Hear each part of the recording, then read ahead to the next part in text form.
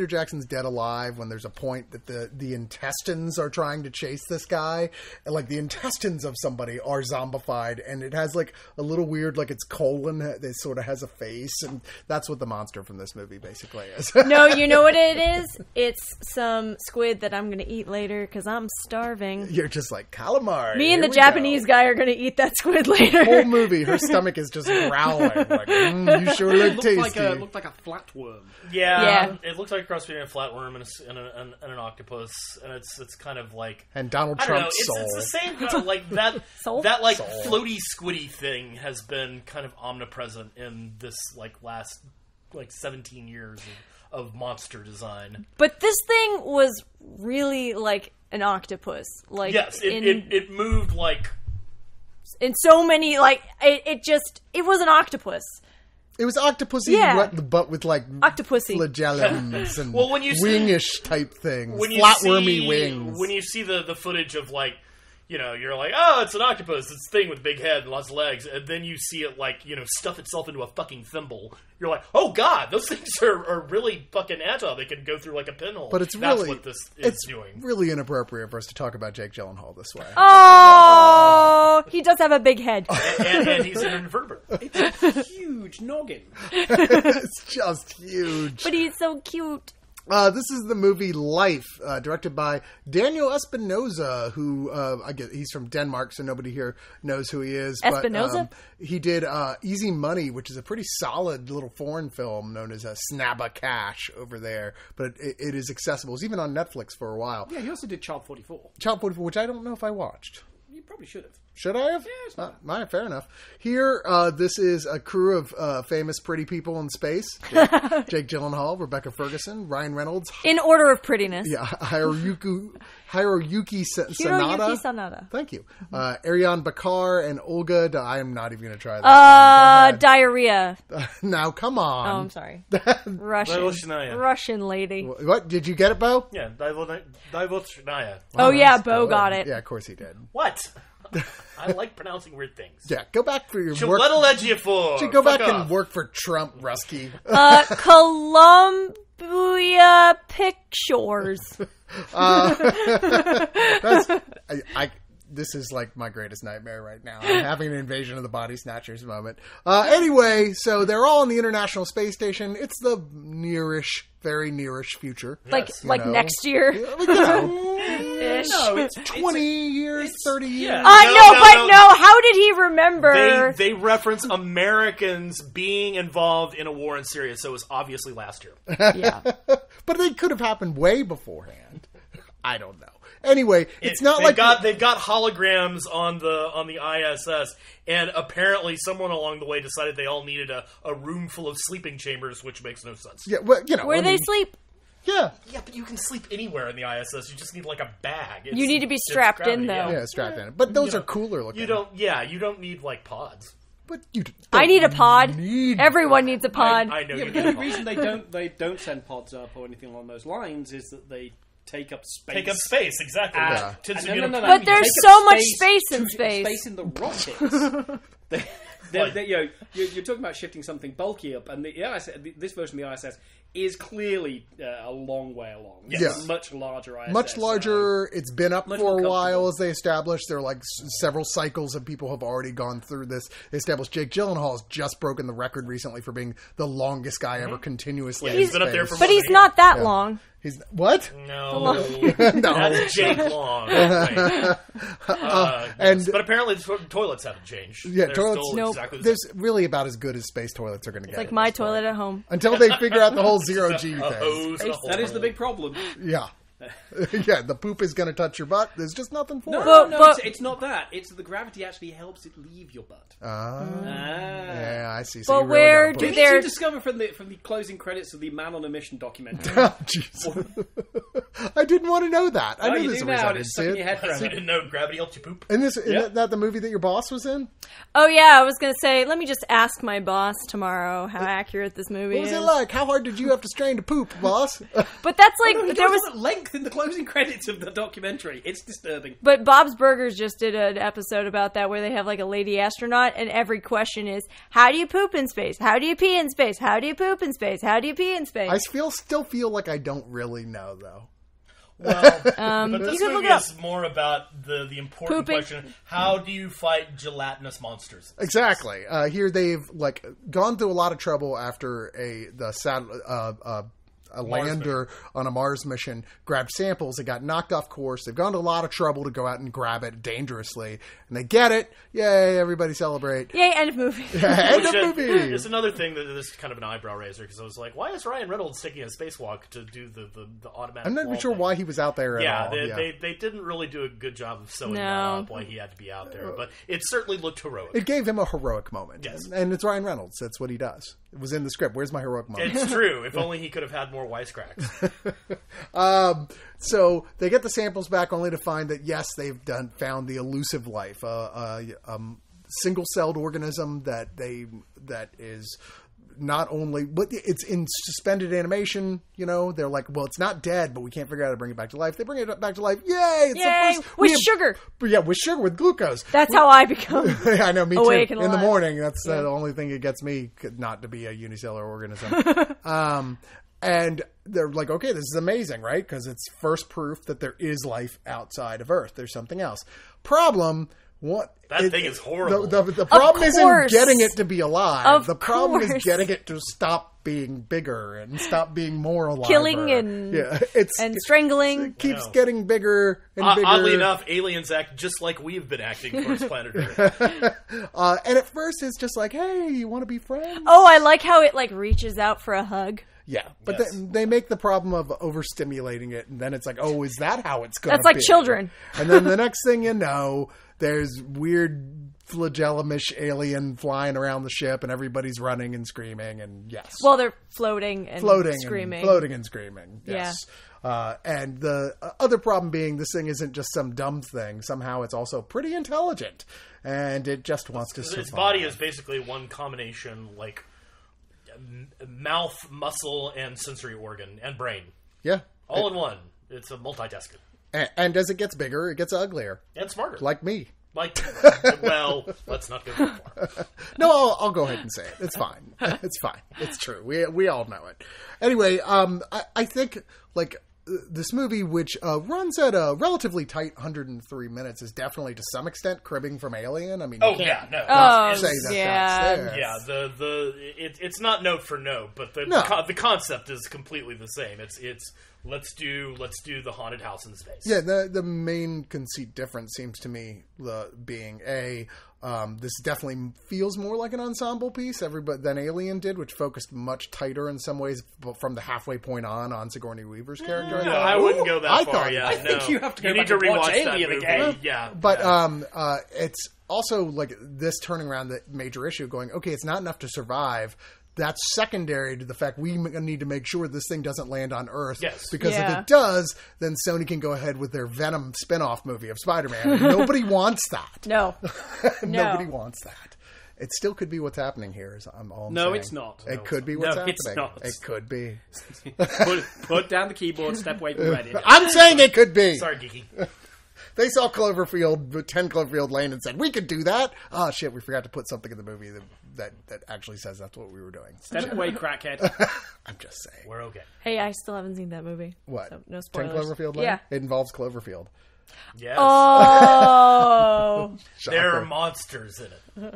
Um, Maybe. I mean, I, I think I liked this a good deal. I don't think I liked it quite as much uh, as as some a lot of people I heard talking about it. It was scary for sure. There's definitely some really scary points. I thought the effects are very well done. The creature itself is is ooky and cool. Ooh, it's all slimy. you know, I guess I liked best that aspect of the whole like we need to make sure that this never gets to Earth part of it than I did Yes. even more the just we need to survive this thing. which is which is built into the plot all the way through. Mm-hmm. And I think one of, the, one of the things I really liked about it is the plot is actually, qu- from that point of view, quite understated.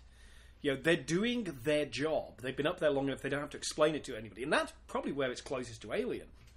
Is that truckers in space don't need to explain to you how a gearbox works. True. So when you have um, a, a bunch of scientists going, okay, how do we stop this thing Mm. from getting getting to Earth? They already have the protocols in place. Yes, that's Yeah. that's And one the thing. Constant use of the term firewall. It's like, Yeah. what do we do when when this firewall? That's one thing I really Okay, liked about this movie because I was really scared that it was going to do the same thing that Prometheus did, which is have scientists, quote unquote, acting really fucking stupid when it comes they- to xenomorphs. what they clearly and did yeah, was they, that they they did not do that. Okay, let's watch Prometheus. Every stupid thing they do is what we avoid doing here. Yeah. This is a much sharper script, It- uh, and I mean, one thing that you really have to say about it, you know, is the cinematography is extraordinary. Uh, we are in the age of the post-gravity science fiction film. I think that has set a level that if you want to be taken seriously, you have to reach. And this applies that same sense of design and ethos um, and what a contemporary hard SF space film will look like, and applies it to the horror sci-fi genre. The first four shots are all amazing in completely different ways. Um, I mean, there's one that is just yeah. The first is just this gorgeous long shot composition. Yeah, going through the whole ship and Then you have this one which is character. like an amazing, it, it was, you know, straight from Tarkovsky in its in its ambiguity. And then no, no, the that's the the fourth shot is the ten minute long single take. This is this is a masterpiece when it comes when it comes to laying out how how to put together something that is visually striking. And Estab- it carries that all the way through. It uses I'm that to really astounded establish the space, so we really understand the space these people are in, how it works, how it locks together, the way the rooms connect. Does a great job of doing that while also making you feel kind of isolated and and like hyper aware of the fact, fuck, that's Earth all the way down there. Shit. Yes, there there was definitely so there's um I can't remember the expression, but there's a term that apparently only people who have ever been to space can understand. It's the feeling of looking down or looking at Earth because there is no down from space, and th- you get a little bit of a sense of that um, during a couple scenes, and I think the the real or the real ish aspects of this movie are great. My biggest complaint was the creature effects, the special effects, the CGI on the creature. It just wasn't doing anything for me. It was icky, but it looked too much like an octopus. It wasn't scary. You're not scared I of wish- octopus? I love octopi. They Kind of scare me. Octopus. Especially when I find out how smart they are. I'm like, fuck those. Yeah, they're smart, but but I think they should have taken a note from Alien, which is don't show the creature. Keep it hidden. Keep it away from from our our like you know we look at it and we see a creature that could exist on Earth. I want my imagination to run wild. So I think going through it, looking at it as a hey, this is definitely a possible future, was great, but the horror aspect wasn't there for me. You didn't find it scary? I found it. Uh, I I was very nervous throughout it, but I wasn't scared. Okay. I Yeah. mean, like, I, I definitely, I mean, just the, the sheer amount of horror I've watched over the years takes a lot for me to even so much as jump. Mm-hmm. But I mean, I think in general, a film rarely do I even feel really nervous during a horror It, film. it's a and this very kept it's that a, going. It's a very suspenseful film. Yeah. and I I definitely think like I thought there there was you know at least two moments at the end that were very horrific. I mean, strictly from the word. Uh, but I do agree that I, I I thought the character design was weak just because it's not something that I haven't seen before. I'm I'm waiting for you know the like monster design needs to needs to pick it up. There there there needs to be a paradigm shift because nothing has been really new for the last you know ten years or so, and I I I need something a little bit more interesting. If you're going to spend that much time showing me the thing, Yeah. Yeah. I was- I was okay with that because you know it felt more real. Uh, if you'd have put something like uh, the xenomorph in there, then that comes with a particular. I'm not ethos, necessarily what you're saying looking at- that either. Looking I'm- at I'm here saying- is, is something you go, this is plausible, a- and that's part of, it, of why it's, You it's know, supposed to work. I I think you can do that and still do something new. It it just requires a really good designer. I wonder if they asked, you know, biologists, like, what would a Sure. a, a life form with such and such properties look like? And that's what they kind of came up with because I think they, I mean, from my total layman's point of view, stayed true to the science of it. Um, and I, I wonder if they were trying to stay true to that. And because we're so used to like giant, crazy Cloverfield monsters and that kind of thing, we're not really impressed by quote unquote real life. Yeah, I was like, I was just pictured you go. They go, so what would this look like? And they shrugged, and directors looked at each other and said, A blob? octopus." Octopus, definitely an octopus. I read that article online where it said octopuses are aliens. I was kind of surprised at points when they could have switched over to practical, and I thought it would have been more effective, Mm-hmm. especially when the thing's actually wrapping around some of them. That they didn't choose to do that because those are the moments it seemed most clear that you're looking at a CG creation and not at the, not like you know. a a physical thing, but when it's flying around the ship, it looks great. I thought the mm-hmm. more detail we see of this thing, the better I like it. Because at those moments, they were like, okay, now we have to go all out and really render this thing well, and it looks really cool. The bigger it gets, the cooler looking it gets as it continues to evolve more details. And it does ask the question, how far would this thing go? There's a point in the film where it almost looks like it's trying to ape a human face Yes. in some degree. Yes. You're not. It never, never really I gets like to the that. point where it's where we're Yeah. Sure. I, I wouldn't, I, and I want to go go out of my way to, to stress that the you know there there wasn't anything that that you know I I hated about the design. I just didn't find it particularly impressive. right. It wasn't silly. We didn't Yeah. laugh at it. It was just not, you know, not surprising. Well, Sarah, keep going to your final thoughts. Um, I think this is a great uh, hard science fiction piece. I think it's something that uh, we might look back on in you know like 20 years and be like, oh, this, this is technology from like five years ago or something like that. Um, it's a very nerve wracking movie for sure. Um, and there's a lot of closing doors. So That's true. There's a lot of scenes of doors closing. if I ever become an astronaut, the first thing I'm going to practice is closing doors because that's going to be very important. closing doors quickly. Yeah, closing doors quickly. And um, I'm definitely, like, I was definitely watching this and thinking, I'm going to talk to the one person I know who's been to the International Space Station about this and see what he thinks. Um, I think it's a f- it's an enjoyable film, um, especially if you like science fiction. Some parts are a little slow. Uh, the beginning might be a little slow if you're you know used to something a little splashier, but um, I'm gonna give it seven out of ten. Um, limbs that don't work, so you go to space. Beau? Um, yeah, I mean, this has been a really good year, you know, good couple of years for, for hard sci-fi, and I, I think this is a, a, a good addition to uh, the uh, the canon. It, it's it, like I like you pointed out, it, it is kind of it, it's it's it's a cover song at best, but it's a really good cover song. Sometimes you you you, you hear one that, that you like just as much as the original. Um, you know, I wouldn't put this up in Aliens League, but or Alien apostrophe s league. Uh, but uh, I, I- I did enjoy it. I, I thought the, the, the scare factor was was fine. Uh, uh, you know, it, it there were a couple of moments that, that put me to the edge of my seat. You know, there there were a few moments at the uh, at the towards the end where I, I felt some of the camera work got a little tur too herky jerky. Uh, but you know that, that's not really that big of a complaint. I, I like the actors. I like the cast. I thought the, the you know the story the, they did a good job in making a, a story I, I kind of knew, and and there weren't any surprises in this. But they, they, they did a good job of, of making me uh, uh, see it again, of making me enjoy seeing it again. So yeah, I'm gonna give this. Uh, hmm, I'd say uh, eight and a half out of ten uh, uh, rolls of, of duct tape. Richard. Uh, I thought this was a wonderfully bleak but wonderfully intelligent uh, piece of sci-fi that, that, for me, worked. Just worked consistently. Um, I I thought it did beautiful work of making you realize why each of these characters would be there. And sometimes you, you watch a film and you go, why would you even be there? Like, you are clearly either ill qualified or don't want to be there. You are the shaggy of this, and nobody is offering you enough Scooby snacks. And everybody has good reason to be there. and the camaraderie between them, and why that why that collapses, why what they do, why they do what they do. Um, and I always feel that character should drive uh, plot, and that does it. This does it extraordinarily well. Um, the alien is not.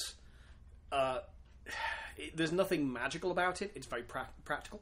It's very pragmatic. It's doing what it does. It has its own motivation as well, which I think you know is, is there's no point where you go, why is any of this happening? It all happens for an absolute reason, leading to one of my favorite endings of the year. Uh, I really like the resolution. I mean, there's a lot of people who are going to be upset at it because of what it does, Yeah. not how it gets there. And I think that that that's a better payoff. Um, I think this is you know a great addition to the genre. Uh, I think it's um, one of these pieces I think will be looked at more and more over the year, particularly because it, it does. It, the, the trailers have made it look like a shitty piece of, of space sci-fi rom. Sure. and in fact, it is a lot more than that. I think it's been desperately unsold to the audience. Um, for me, this is uh, uh, a definite um, eight and a half. Um, rapidly falling uh, atmospheric pressures.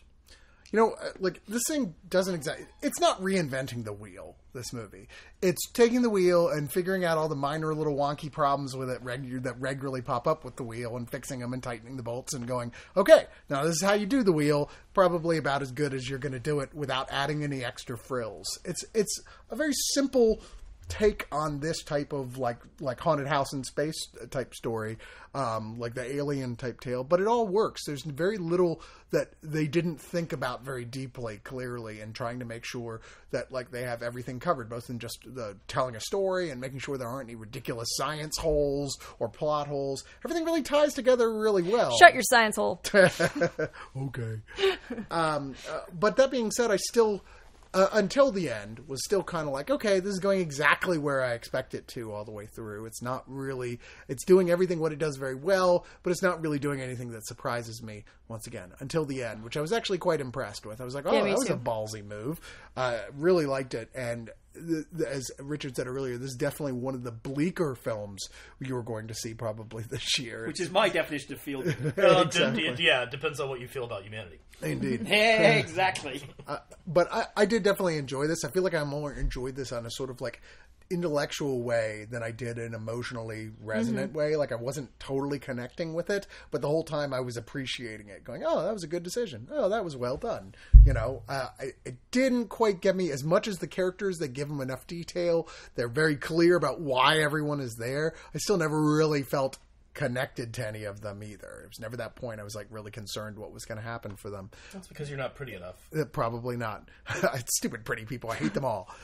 Pretty people in space. But I did really like this. I'm going to give it seven and a half out of ten times. I thought to myself while this was going on, I'd watch a Deadpool in space movie. I was thinking the same thing. right? You couldn't help it. Yeah. Yeah.